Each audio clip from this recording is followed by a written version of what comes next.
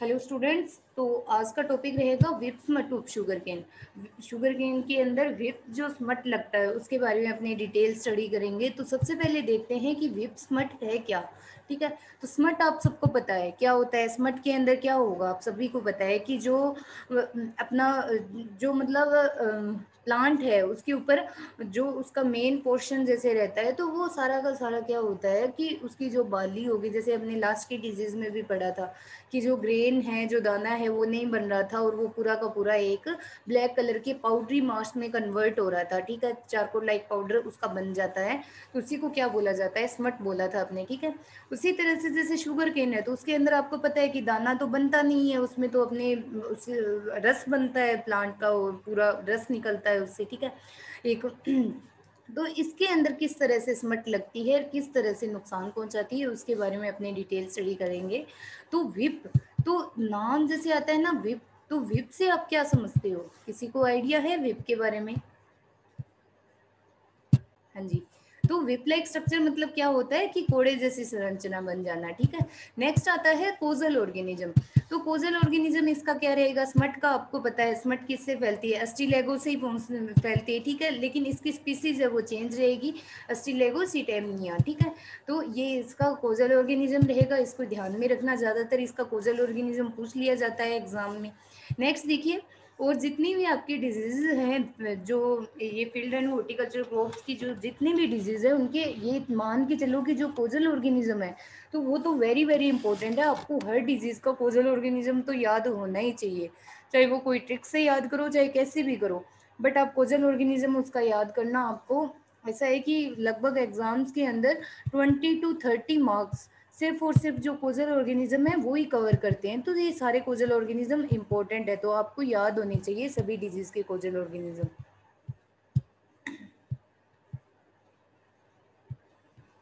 Next देखिए कि it causes ten to twenty five percent yield losses ठीक है?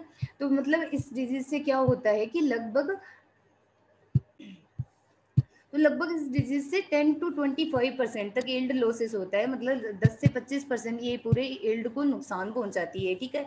अगर ज़्यादा इन्फेक्शन हो जाता है तो। क्यों? क्योंकि जो स्टेम पोर्शन है, उसी से तो गन्ना बनेगा, ठीक है? तो वो क्या होता है? पूरा का पूरा सड़ जाता है, उसके अंदर जो स्पोर्स ये स्पोर भर जाते हैं, ठीक है? तो उससे क्या होगा कि जो गन्ना है वो बन ही नहीं पाएगा, ठीक है? और जो प्लांट है वो बोना रह जाएगा, आगे उसकी ग्रोथ नहीं होगी तो इस वजह से क्या होता है? एल्ड लॉसेस आ जाता है, ठीक है? ज़्यादातर ये कहाँ होता है? रेटून क्रॉप के अंदर होता है। अब रेटून क्रॉप मैंने बताई थी आपको कि गन्ने की जैसे खेती करते हैं तो क्या करते हैं किसान कि वापस जो है, गन्ने का मतलब थोड़ा सा मतलब ऊपर से उसको काट के यूज़ कर लेते हैं और वापस जो मेन जो लगाया हुआ था ट्यूबर ठीक है? उससे से क्या होता है, वापस एक गन्ना बन जाना, ठीक है? तो जो पहले की क्रॉप थी, उसको क्या है, थोड़ा सा ऊपर से काट लिया जाता है वापस उसी से न्यू प्लांट बन जाता है। तो उसी को क्या बोलते हैं? रेटून बोला जाता है, ठीक है? रेटून क्रॉप बोला जाता है। तो इसमें क्या होता है कि जो अपने रेटून क्रॉप सोइंग करते हैं मतलब रेटून क्रॉप अगर लगाते हैं तो उसके अंदर ज़्यादा इन्फेक्शन होता है। क्यों होता है? उसके अंदर ज़्यादा इन्फेक्शन क्योंकि जो पहले प्लांट लगा हुआ था, ठीक है? उसके अंदर अपने को पता है कि जो स्पोर्स हैं, वो आए हुए थे, ठीक है? उन, उन्होंने, वो स्पोर है, वो, उसने नुकसान पहुँचा दिया था पूरे प्लांट को। तो अब अब, अपने अगर वापस उसी से ही दूसरा प्लांट अगर तैयार करेंगे तो वो स्पोर क्या रहते हैं? सोइल में, वहीं पे आसपास। और या फिर जो प्लांट का जो पार्ट है प्लांट का जो मटेरियल है, वहीं क्या होता है कि प्रेजेंट रहते हैं, ठीक है?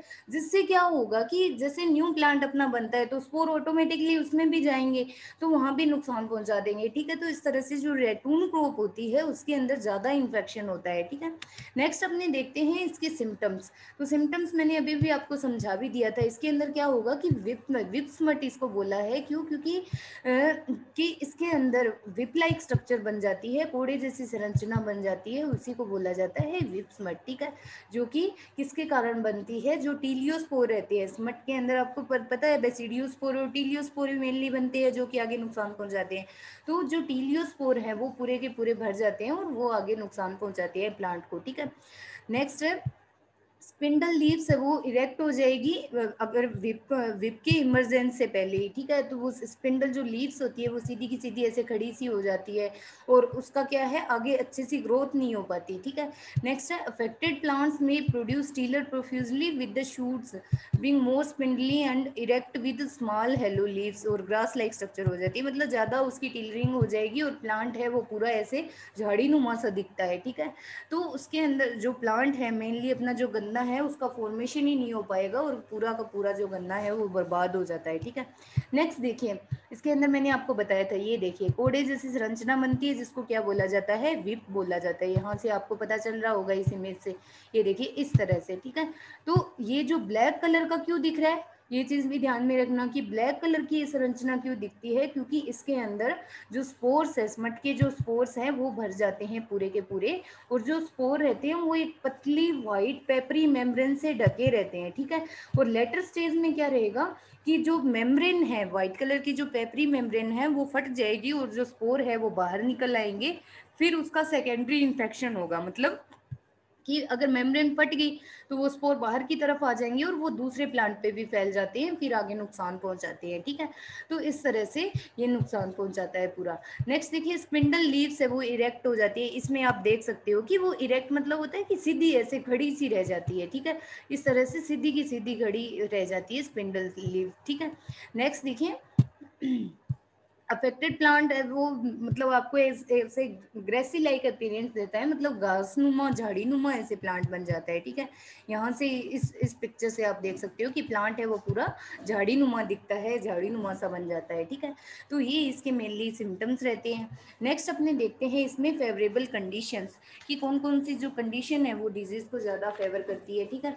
तो फ़र्स्ट तो है कि अपने अगर, पहले भी आपको बता चुकी हूँ कि अगर इन्फेक्टेड सेट्स अपने यूज़ करेंगे इन्फेक्टेड सेट्स मतलब मतलब जो पहले उसके ऊपर जो डिज़ीज़ आई हुई थी, ठीक है सेम उसी अगर ट्यूबर को अपने यूज़ करेंगे वापस तो उसका, उससे क्या होता है कि प्राइमरी स्प्रेड होता है डिज़ीज़ का मतलब प्राइमरी इनोकुलम का काम करेंगे वो, क्योंकि वो ऑलरेडी इन्फेक्टेड थे, उसके अंदर स्पोर ऑलरेडी प्रेजेंट थे तो अगर आप वही यूज़ करोगे तो उससे ऑटोमेटिकली नुकसान पहुंचेगा फ़ील्ड के अंदर, ठीक है? तो एक तो ये हो गया नेक्स्ट है विंड कि जैसे मैंने आपको बताया कि जो जो विप्लाइक स्ट्रक्चर है, इस तरह की जो स्ट्रक्चर थी तो वो एक स्पोर के द्वारा भरी रहती है और उसके ऊपर व्हाइट कलर की मेम्ब्रेन रहती है, ठीक है पेपरी मेम्ब्रेन पेपर पेपर जैसे होता है ना पतला सेम उसी तरह की एक पतली मेम्ब्रेन सी रहती है, ठीक है? तो अगर मेम्ब्रेन वो फटेगी तो फटने के बाद क्या होगा कि स्पोर बाहर आएँगे और वो ट्रांसफ़र कैसे होंगे एक प्लांट से दूसरे प्लांट पे? तो जो विंड है मतलब कि जो हवा चलती है तो हवा के द्वारा उसका क्या होता है? सेकेंडरी इन्फेक्शन होता है, ठीक है? तो ये चीज़ भी आप ध्यान में रखना। नेक्स्ट आएगा इसके अंदर। हाँ ये हो गया। नेक्स्ट देखिए अभी कंट्रोल मेजर्स कि कंट्रोल किस अब अगर बात आती है इसके अंदर डिज़ीज़ साइकिल की तो डिज़ीज़ साइकिल वैसे इसमें नहीं पूछते हैं, लेकिन जनरली आपको बता देती हूँ, थोड़ा सा ध्यान रखना इसमें। तो फ़र्स्ट तो इसमें क्या होगा कि डिज़ीज़ साइकिल में एक तो ध्यान रखना कि स्मट है तो स्मट के अंदर कौन कौन से स्पोर बनते हैं? टीलियो स्पोर बनेंगे और बेसिडियो स्पोर बनेंगे, ठीक है? एक तो ये चीज़ ध्यान में रखना कि टीलियो स्पोर बनेगा और उसके अंदर बेसिडियो स्पोर का फॉर्मेशन होगा, ठीक है? तो अब जो मतलब यहीं से भी आपको पता चल जाएगा कि जो मतलब डिज़ीज़ साइकिल किस तरह से चलेगा कि जैसे ये कोई भी प्लांट था, ठीक है? तो उसके अंदर प्राइमरी जो इन्फेक्शन है वो किसके द्वारा होगा? इन्फेक्टेड सेट्स अगर आपने यूज़ किए हैं तो वो ऑलरेडी जो स्मट के जो स्पोर हैं वो प्लांट के अंदर फैल जाएँगे, ठीक है? तो उसके बाद में विपलाइक ऐसे स्ट्रक्चर बन जाती है विपलाइक स्ट्रक्चर बनेंगी और प्लांट की ग्रोथ अच्छे से नहीं हो पाएगी। अब विपलाइक जो स्ट्रक्चर है तो उसके अंदर से स्पोर निकलेंगे और इसका जो सेकेंडरी इन्फेक्शन है वो किसके द्वारा होगा? हवा के द्वारा होगा विंड बोन ठीक है? हवा के द्वारा क्या होगा कि जो मतलब स्पोर्स है, वो दूसरे प्लांट पे फैल जाएँगे, ठीक है? तो इस तरह से इसका जो डिज़ीज़ साइकिल है वो पूरा चलता रहता है, ठीक है? वो दूसरे प्लांट को नुकसान पहुंचाएँगे और इस तरह से जो डिज़ीज़ साइकिल है वो इसका चलेगा। और एक चीज़ ध्यान में रखना और जो ये टीलियोस्पोर है तो वो हवा के द्वारा क्या होंगे कि दूसरे प्लांट पे तो फैल ही जाएँगे और नहीं तो क्या होता है कि वो सोइल में भी गिर जाते हैं, ठीक है? या तो नीचे गिर जाएँगे सोइल में प्रेजेंट रहते हैं, बहुत सालों तक ज़िंदा रहते हैं, लगभग फोर टू फाइव ईयर्स तक मतलब हो सकता है दस साल के लिए भी सर्वाइव कर जाए, ठीक है? तो वो क्या करते हैं सोइल में पड़े रहते हैं सर्वाइव करते रहते हैं और जैसे ही उनको होस्ट मिला तब वो आगे जाके इन्फेक्शन करेंगे और या फिर क्या होंगे, वो हवा के द्वारा दूसरे प्लांट पे चले जाएँगे, ठीक है? तो इस टाइप से भी आप इसका डिज़ीज़ साइकिल जो है वो बना सकते हो। बाकी इसमें ज़्यादातर कम ही पूछते हैं डिज़ीज़ साइकिल इसीलिए मैंने इसको मेंशन नहीं किया। इतना ज़्यादा आपको ध्यान, याद भी नहीं रहेगा। नेक्स्ट देखिए इसका कंट्रोल मेजर्स मतलब डिज़ीज़ को कंट्रोल किस तरह से करोगे? तो इसके अंदर देखिए, सबसे पहले अपने बात क्या की थी कि रेटून अगर लगाते हैं मतलब रेटून क्रॉपिंग अगर करते हैं अपने तो ज़्यादा इन्फेक्शन हो रहा था। ठीक है तो सबसे पहले तो यही आ जाएगा कंट्रोल में कि अवॉइड करना चाहिए रेटूनिंग को। अगर अगर फ़ील्ड में डिज़ीज़ आई हुई है तो आप उसको पूरी तरह से उखाड़ ही लो उखाड़ के उसको जला दो। अदरवाइज़ क्या होता है कि आगे से आगे इन्फेक्शन होगा, ठीक है? रेटून क्रॉप को अवॉइड करना चाहिए, ठीक है? नेक्स्ट आता है smutted whips from the field should be remove very carefully and burn जो स्मटेड जो विप आपको दिख रही थी विपलाइक जो स्ट्रक्चर दिख रही थी तो उसको हटा के और पूरी तरह से जला देना चाहिए। अदरवाइज़ जो स्पोर हैं वो आगे से आगे भी फैल जाएँगे, दूसरे प्लांट्स पे भी फैल जाएँगे, ठीक है?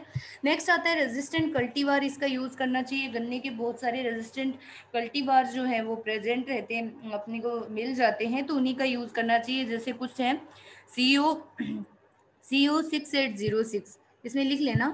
C O C O six eight zero six six eight zero six next है C O six two one seven five C O six two one seven five, ठीक है? तो ये कुछ रेजिस्टेंट वेराइटी है गन्ने की जो यूज़ करना चाहिए वेप्समट के लिए, ठीक है? नेक्स्ट आता है सीईओ का मतलब क्या है? सीईओ से देख लेना, ये भी पूछा जाता है आपके कंपटीशन एग्ज़ाम में भी, ठीक है? तो सीईओ किसके लिए यूज़ करते हैं? गन्ने की जितनी भी जो वेराइटीज है वो ऑलमोस्ट वेराइटीज मतलब ज़्यादातर वेराइटी जो सारी की सारी क्या है कोयम्बटूर से निकली हुई है। गन्ने का जो रिसर्च स्टेशन है, वो कहाँ पे है? शुगर केन रिसर्च स्टेशन वो कोयम्बटूर में है, ठीक है? तो वहाँ से जितनी भी वेराइटीज़ है, वो गन्ने गन्ने का प्रोडक्शन ज़्यादातर वहीं होता है जो भी वेराइटीज़ है, वो वहीं से निकाली जाती है, ठीक है? इसीलिए इसके आगे लिखा जाता है सीओ मतलब कोयम्बटूर ठीक है? ये आपने वैसे भी एग्रोनॉमी में पढ़ पढ़ रखा होगा, अगर नहीं ध्यान है तो आज देख लेना, ठीक है? नेक्स्ट देखिए smutted canes should be should not be used as a set for planting ये तो आपको पता ही है कि स्मटेड केन्स को यूज़ नहीं करना चाहिए प्लांटिंग के लिए. नेक्स्ट है जैसे हॉट वाटर ट्रीटमेंट करना चाहिए प्लांट्स का. हॉट वाटर ट्रीटमेंट आप किस तरह से करोगे? जैसे मतलब स्मट जो इसके अंदर आप क्या करोगे कि 52 डिग्री सेल्सियस टेम्परेचर पे क्या करोगे? दो घंटे के लिए उनको जो विप स्मट जैसे निकली हुई थी, ठीक है? और जो सेट्स थे, ठीक है? तो उनको आप क्या करते हो? उनका हॉट वाटर ट्रीटमेंट अगर करते हो तो हीट निकलती है, ठीक है? तो हीट से क्या होता है कि जो स्पोर है, वो अपने आप ही डेथ डेथ हो जाएगी उनकी और फिर आप उनको ग्रो कर सकते हो, जो ट्यूबर्स होंगे गन्ने के उनको, ठीक है? नेक्स्ट आता है soaking of cane sets in solution of triadimefon triadimefon ठीक है? ट्राइडेमीफोन फंजीसाइड में उनको भिगो के रखना चाहिए। कितना उसकी क्वांटिटी लेंगे? टू एम पर लीटर के हिसाब से ये फंजीसाइड भी यूज़ कर सकते हो इसको कंट्रोल करने के लिए, ठीक है? तो ये आपकी यहाँ पे डिज़ीज़ ख़त्म होती है वेब स्मट तो नेक्स्ट अपने डिज़ीज़ के बारे में स्टडी करते हैं इसके अंदर। वो आती है रेटून स्टंटिंग ठीक है? स्टंटिंग मतलब होता है प्लांट का बोना रहना, ठीक है? तो है, उसके बारे में अपने देखते हैं। रेटून स्टंटिंग के अंदर स्टंटिंग मतलब होता है कि बोना रहना, ठीक है? उसकी ग्रोथ नहीं हो पाती है। स्टंट अपने बोलते हैं ना कि प्लांट स्टंटेड रह जाता है बोना रह जाता है, ठीक है? तो रेटून स्टंटिंग किस तरह से आती है और किस वजह से आती है? तो इसके अंदर क्लेवी बैक्टर जाइली एक प्रकार का बैक्टीरिया होता है, जिसकी वजह से ये डिज़ीज़ आती है, ठीक है? इसका कोजल ऑर्गेनिज्म क्या रहेगा? क्लेवी बैक्टर जैली ठीक है? तो नेक्स्ट इसका देखेंगे कि इल्ड लॉसेस कितना होता है तो लगभग फोर्टी तक इस, इससे क्या होता है, इस डिज़ीज़ से इल्ड लॉसेस हो जाती है, नुकसान पहुँचता है गन्ने के खेत को, ठीक है? नेक्स्ट देखते हैं इसके सिम्टम्स तो इसके सिम्टम्स में अब रेटून स्टंटिंग से आप इमेज से भी समझ सकते हो। तो रेटून स्टंटिंग मतलब कि जो बोन जो प्लांट है, जो गन्ने का प्लांट था, ठीक है? तो दो नोड के बीच का जो स्पेस रहता है, उसको इंटरनोड बोलते हो आप, ठीक है? तो उसका क्या है कि पूरी ग्रोथ नहीं हो पाएगी, ठीक है? तो वो बोना रह जाता है, उसमें जो नोड्स जो इंटरनोड है, ठीक है? तो उनकी ग्रोथ नहीं हो पाएगी, ठीक है? उसी को बोला जाता है रेटून स्टंटिंग ठीक है? तो affected cane show stunted growth reduce tillering इसकी टिलरिंग नहीं हो पाएगी, ठीक है? Thin cane will with shorten internode yellowish leaves और इसकी लीव्स है मतलब जो पत्तियाँ हैं वो येलो कलर की हो जाएगी और इसके अंदर क्या होता है कि जो इंटरनोड है, उसकी ग्रोथ नहीं हो पाएगी, बिल्कुल छोटे छोटे छोटे छोटे रह जाती हैं, ठीक है? तो जो गन्ने की कोरी बोलते हैं अपने, वो बन ही नहीं पाएगी तो उसकी फिर गन्ने का जो पूरा प्लांट का जो ग्रोथ है वो नहीं हो पाएगा, ठीक है? तो उसी को बोला गया है रेटून स्टंटिंग ठीक है? नेक्स्ट इसका एक और सिम्टम देखने को मिलता है कि ऑरेंज रेड डिस्कलरेशन मतलब ऑरेंज और रेड कलर का स्पॉट देखने को मिलता है नोट्स के बीच में मतलब जो वास्कुलर बंडल होता है नोट्स का तो वो किसके अंदर कन्वर्ट हो जाता है? ऑरेंज और रेड कलर के अंदर कन्वर्ट हो जाता है, ठीक है? और अगर आप गन्ने को ऐसे लॉन्गिट्यूडली मतलब कि गन्ने को बीच में से ऐसे चीर के देखते हो तो अंदर की तरफ़ पिंक कलर का आपको दिखता है, ठीक है? जो नोट्स है, वो आपको पिंक कलर का दिखेगा कैंस के अंदर, ठीक है? तो ये इसके मेनली सिम्टम्स रहते हैं, इसके सिम्टम इंपॉर्टेंट है, आप ध्यान में रखना।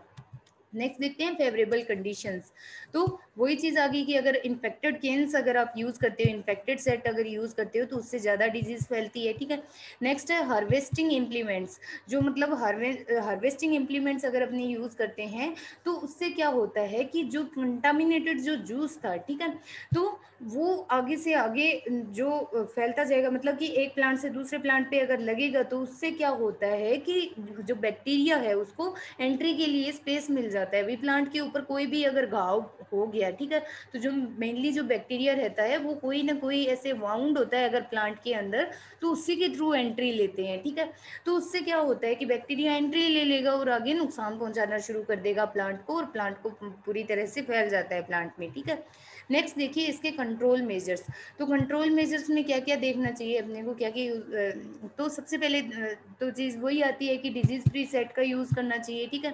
तो raising of disease free sets in nursery by the following measures मतलब किस तरह से आप नर्सरी नर्सरी के अंदर इसकी, इसको ग्रो करवा सकते हो विदाउट मतलब डिज़ीज़ के, ठीक है? तो फ़र्स्ट तो ये होना चाहिए कि जो नर्सरी है आपकी, उसमें प्रॉपर ड्रेनेज होना चाहिए, ठीक है? जल निकास की उसमें प्रॉपर व्यवस्था होनी चाहिए अदरवाइज़ जो है वो बैक्टीरिया है वहाँ पे सर्वाइव करने लग जाता है और ज़्यादा वहाँ पे फैलेगा, ठीक है? और जो फर्टिलाइज़र डोज है वो ऑप्टिमम देना चाहिए प्लांट्स को, और जो इरिगेशन है वो भी सही शेड्यूलिंग उसकी करनी चाहिए इरिगेशन शेड्यूलिंग सही होनी चाहिए। टाइम टू टाइम वीडिंग और होइंग करनी चाहिए प्लांट्स के ऊपर, ठीक है? वीक प्लांट है तो उनको उखाड़ के और पूरी तरह से जला देना चाहिए, ठीक है? रोग्यू आउट कर देना चाहिए stools showing symptoms of wilt red rot smut should also be done ठीक है? तो इसके अंदर अगर अगर नर्सरी में ही आपको इन इन सब डिज़ीज़ ये वाली जो भी डिज़ीज़ हैं, ये अगर दिख रही हैं तो उन प्लांट्स को क्या करना चाहिए कि उखाड़ के पूरी तरह से जला देना चाहिए अदरवाइज़ क्या होगा कि जो डिज़ीज़ है वो ज़्यादा फैलेगी। Any set that that fails to germinate within a reasonable period should dug out and removed मतलब कि अगर उस पीरियड के अंदर अगर वो, जो मतलब कि अपने प्लांट जो लगाया था, उसका जो ट्यूबर अगर लगाया था तो वो अगर नहीं ग्रो कर रहा तो उसको उखाड़ के और पूरी तरह से जला देना चाहिए, ठीक है? नेक्स्ट आता है कि जो सेट अपनी यूज़ करेंगे, ठीक है? तो उनको हॉट उनका हॉट वाटर ट्रीटमेंट करना चाहिए। अगर हॉट वाटर ट्रीटमेंट अपने करते हैं तो उसके अंदर जो भी मतलब डिज़ीज़ या फिर कोई जो फंगस बैक्टीरिया के इनके, जो भी अगर स्पोर वहाँ पे प्रेजेंट होते हैं उसके अंदर तो वो ऑलरेडी उनकी डेथ हो जाएगी और वो आगे डिज़ीज़ नहीं फैला पाएँगे। ठीक है? तो 52 डिग्री सेल्सियस पर 30 मिनट्स के लिए इसका हॉट वाटर ट्रीटमेंट करना चाहिए। और लास्ट में कंट्रोल मेजर आता है जो कि बहुत ही अच्छा आप इसको बोल सकते हो। ठीक है तो रेजिस्टेंट वेराइटी यूज़ करनी चाहिए अगर आपने रेजिस्टेंट वेराइटी यूज़ कर रखी है तो वहाँ पे डिज़ीज़ आती ही नहीं है, ठीक है? तो ये आपकी कंप्लीट होती है ratoon stunting disease thank you very much